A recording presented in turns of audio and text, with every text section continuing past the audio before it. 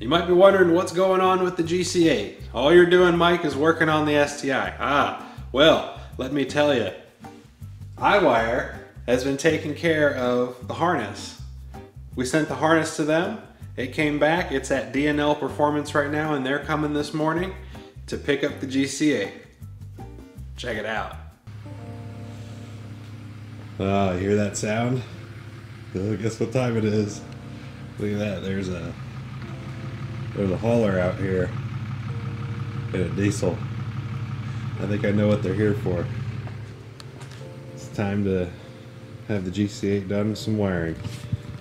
That's uh, Darnell and Chris from D&L Performance. Hey, there they are. What's going on? What's guys? going on, man? What's up?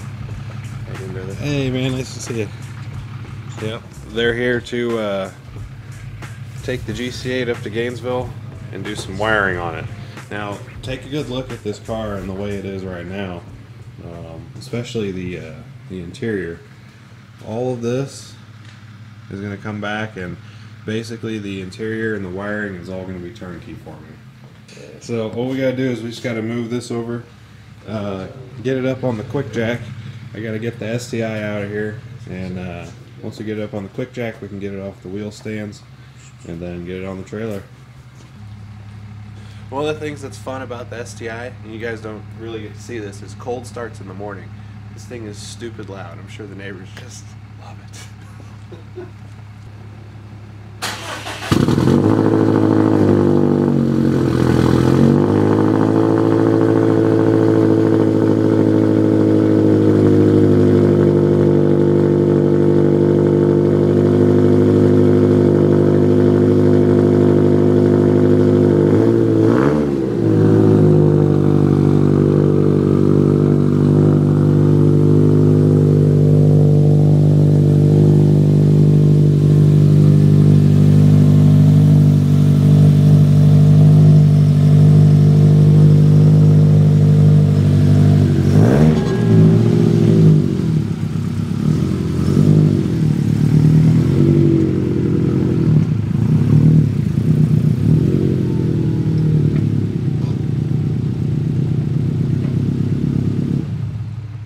So we gotta push and pull this thing over, and then we're gonna get it on the quick jacks.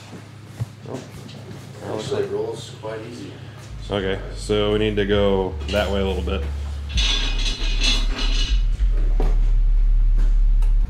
And we're good. I can definitely see why. Alright, so I think I got the quick jack set right. That's just a, a nutcase of wiring like drives me nuts to even look at it. It's a mess. I really appreciate you guys uh, taking this on. Uh, not too many people would uh, take this on, let alone be excited to work on it, just from the, the sheer aspect of uh, how complex this situation turned out to be. you know where the wiring harness is going. Um, let's see. Uh, can you check the quick jack over on your side? And let me know if it's on the seam welds. Or at least, Yeah, we're on. you good? Yeah.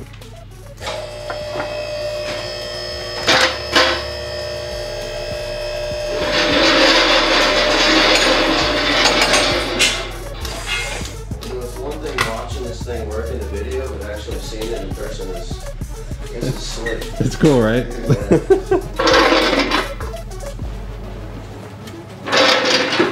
right, so we good to go back down? Yep, get on one side.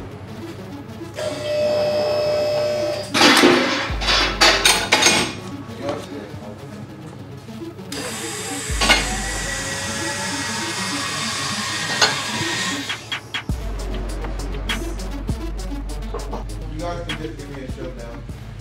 Just Yeah, push got you in, and? Yeah, let you roll down the hill. Yeah. Okay.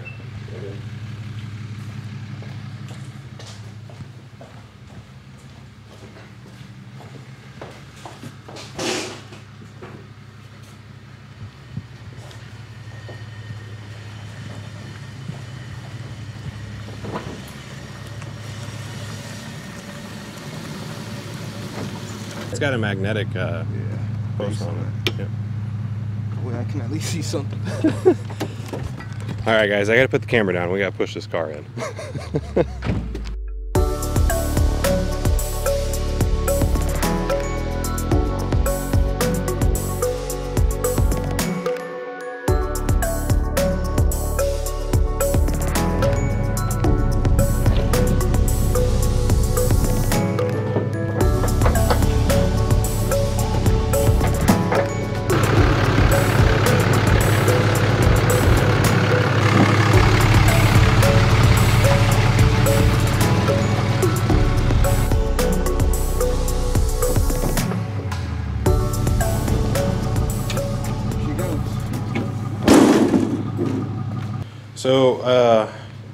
to give us a quick rundown of basically like how the car sits right now, and then what you guys have planned?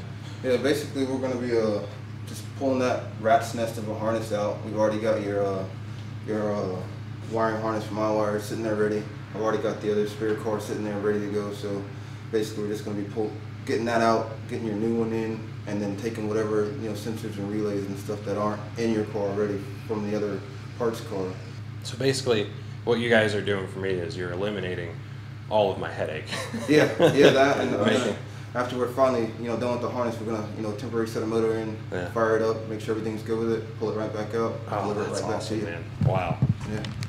That is really cool, and that's one of the reasons why uh, I know a lot of you guys are like, "No, don't send the car out." It's like, well, when you find somebody that's really good at what they do, and they can do something that, I mean, yeah, I could have tried to do it myself, but the problem is with wiring. Say I encounter something that is messed up down the road, well, I'd have to go through because in the back of my head I would be thinking that it was a wiring gremlin because wiring is something that's very complex for me when that happens, when you run into stuff like that, sometimes it is actually smarter to outsource it to people that know what they're doing because then you'll have peace of mind. So uh, I found Darnell, and he's got a really, really good reputation. He's a D&L Performance in Gainesville. Um, he he really is good with Subaru OEM stuff. Like you've got, you were telling me about the tools. Yeah, I got- three got- Subaru Williams scan tools. Yeah. Yeah, no, that- we'll. That's awesome. And like when you're doing wiring and stuff, you want somebody that's very well versed in uh, in the OEM aspect of the car. Um, not, that's not to say that they can't do performance stuff too, because they can.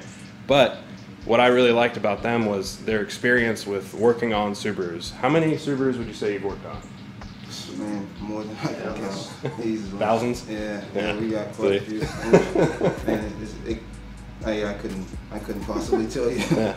And not only that, but he also has a uh, an RSTI build himself. So uh, he's really well known within the uh, the GC8 community, well respected guy, and uh, I'm really excited that the car is going to him, dude. You are going to save me tons of headache and disaster. Oh man, that's what we're here for. Thank you so much. Appreciate you letting us do it. We're excited to work on it. Thank you, Chris. So that's it. Uh, next time you guys see the car, um, it's going to be up at their shop. We're going to get to see a little bit of time lapse footage. And uh, yeah, she's going to come back and be turnkey as far as wiring and chassis stuff goes. And um, man, I'm so excited, dude. Uh, I can't believe it's finally making this kind of progress. Honestly, dude, I never thought that this car would make progress at this point. No. I was pretty discouraged. I mean, just gotta find the right people. Yeah. You know, it's basically what it boils down to. It's just you know, people who are confident in their work, take care of the customer. And that's what we're gonna do. Thank you, man. All right, well, bye bye, GC8. When you come back, you'll be a whole new girl. Yeah, the dash, wiring harness, and all. Yeah.